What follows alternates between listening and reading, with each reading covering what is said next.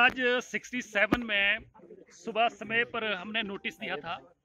और ये जो नोटिस दिया गया है, हिमाचल प्रदेश में बेनामी सौदों को लेकर सदन चर्चा करे और इस पे जो है सरकार चर्चा करने के लिए तैयार नहीं हमने कहा कि हमारे पास एविडेंसेस हैं और जब सरकार बनी नहीं थी, भारतीय जनता पार्टी अपोजिशन में थी, उस समय भारतीय जनता पार्टी हमेशा अक्सर ये कहा करती कि बेनामी सौदों की हम जाँच कराएँगे। आज हिमाचल प्रदेश में लगातार समाचार पत्रों पत्रों की सुर्खियाँ बन रहा है कि हिमाचल के मंत्री जो है, वो जो है जमीनें खरीद रहे हैं और बेथा जमीनें खरीद रहे हैं। आप जानते हैं कि हिमाचल प्रदेश में जो सीलिंग एक्ट है, लैंड सीलिंग एक्ट है, उसमें 315 कनाल ज़मीन एक व्यक्ति ज़्यादा से ज़्यादा रख सकता है।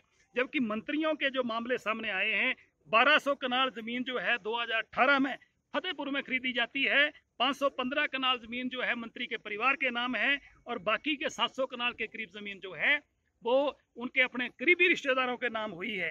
इसके अलावा मैंने ये बात कही है कि धर्मशाला में चेलियाँ जगह है, जो कि एच स्टेडियम स्टेडियम जो है उसके साथ लगती है। वहाँ पर 19 बीघा ज़मीन जो है 2013 में रजिस्ट्री होती है। और ये जो रजिस्ट्री होती है, ये पचहत्तर लाख रुपए की रजिस्ट्री की जाती है, जबकि वहाँ पर रेट जो है वो पचास से सत्तर लाख रुपया पर कनाल है।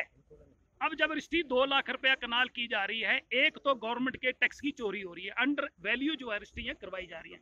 दूसरा, जिस व्यक्ति ने ज़मीन खरीदी है, वो जो है, वो कांगड़ा जिला के काठगढ़ जगह जो है, इसके पास गंगत के पास जो है, काठगढ़ जगह है, वहाँ का रहने वाला है। और जो व्यक्ति है, उसकी पाँच से सात कनाल ज़मीन जो है वो खेती बाड़ी वाली ज़मीन है और वो आदमी जो है खेती बाड़ी करता है।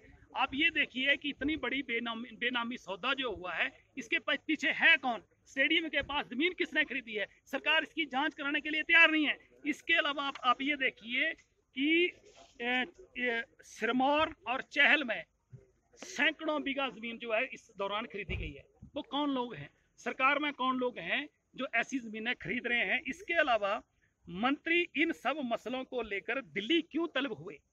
और जब तलब हुए तो उसके बाद एक्शन क्या हुआ? उस पर क्या चर्चा हुई? और सरकार बेनामी सौदों को, मामलों को लेकर चर्चा क्यों नहीं कर रही है?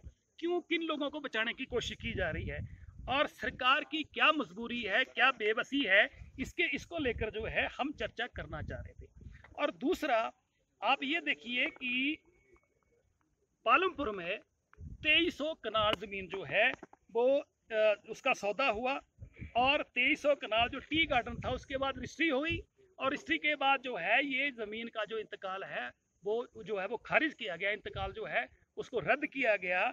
इसके अलावा अभी किसी मंत्री ने जो है, वो इसके तपोवन में छः कनाल ज़मीन खरीदी गई। उसका जो रजिस्ट्री हुई है वो चार चार लाख रुपए प्रति कनाल हुई है।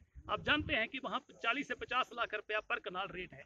इसलिए बहुत सारी गड़बड़ियाँ हैं। इसके अलावा हमने सिर्फ़ मात्र इतना कहा है कि अगर सरकार पाक साफ़ है तो सरकार में सभी मंत्री, जितने भी मंत्री हैं, व उनके करीबी रिश्तेदार जो हैं, उनकी पिछले तीन साल की जो जमीनों की खरीद फरोख्त हुई है, संपत्तियों की खरीद फरोख्त हुई है, उसका जो है ब्यौरा जो है सदन में रखा जाए। और क्या कारण है कि इस मामले को दबाने की कोशिश हो रही है? इससे पहले भी समाचार पत्रों में मामला उठा है सरकार इसको सीबीआई या ईडी को देने से क्यों कतरा रही है? अगर सीबीआई और ईडी को नहीं मामला देना है तो हाईकोर्ट के किसी सिटिंग जज से इसकी, इसकी जो है जाँच करवाई जाए। और जिन लोगों ने जमीनें खरीदी हैं उनका सोर्स ऑफ़ आमदन क्या है? ये सारी चीज़ें जो हैं वो चर्चा का विषय है और यही कारण है कि आज हिमाचल प्रदेश के लोगों का सरकार पर से विश्वास उठ रहा है। सरकार मामले को दबाने की कोशिश कर रही है और अपने लोगों को बचाने की कोशिश कर रही है और सरकार इसीलिए चर्चा नहीं कर रही है। हमने हम डिमांड कर रहे हैं कि इसकी जो जाँच है तीन सालों की संपत्ति कि, किस मंत्री ने अपने नाम अपने परिवार के नाम अपने रिश्तेदार के नाम खरीदी है उसकी जो है सदन में जो है रिपोर्ट जो है ब्यूरा जो है वो सरकार रखे ताकि हिमाचल प्रदेश के लोगों को असलियत का पता लगे। ये ये हमने कहा है। और सरकार इस पर चर्चा करने के लिए तैयार नहीं है, इसलिए हमने वॉकआउट किया है और अपना विरोध जो है दर्ज कर रहे हैं